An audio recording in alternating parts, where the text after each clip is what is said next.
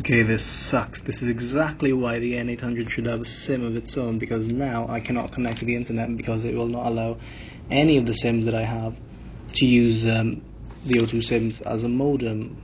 So now, for the next two days that I'm here, I'm not going to get any internet connection using the N800.